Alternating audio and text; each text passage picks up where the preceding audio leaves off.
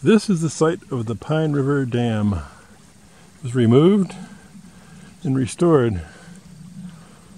Pretty good. You can't really tell where it was exactly.